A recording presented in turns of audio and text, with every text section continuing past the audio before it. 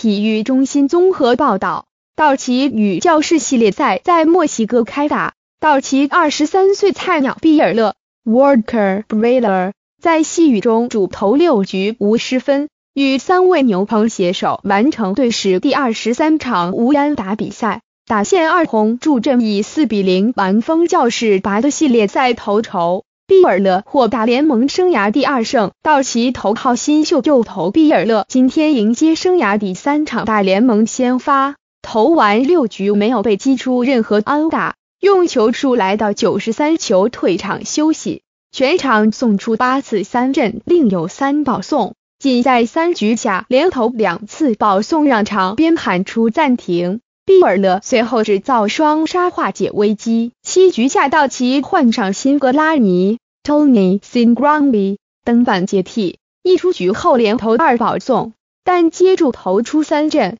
再让打者击成滚地球，形成三出局。贾奇亚、Yami Joshua 与里百瑞托、Adam Liberator 随后接手各投一局，都让教士三上三下，四名投手合力完成大联盟史上第十二场无安打比赛。道奇队史累积二十三场无安打比赛为大联盟最多。道奇四投携手投出大联盟史上第十二场接力无安打比赛。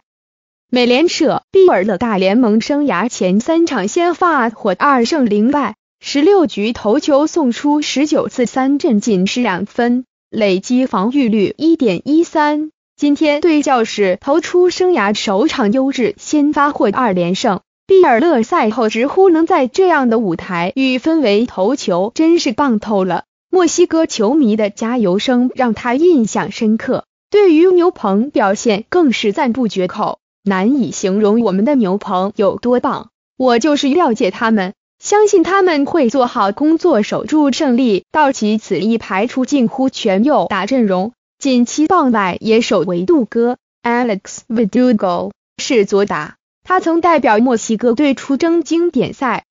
道奇首局就敲安先驰得点，二局下泰勒。Chris Taylor 与赫南德兹。Enrique Hernandez。背靠背开轰，六局上维杜哥敲安送回道奇第四分，投手比尔勒敲出大联盟生涯首安，但球打到跑者维杜戈形成三出局，毕尔勒生涯首次优质先发首安同场出炉。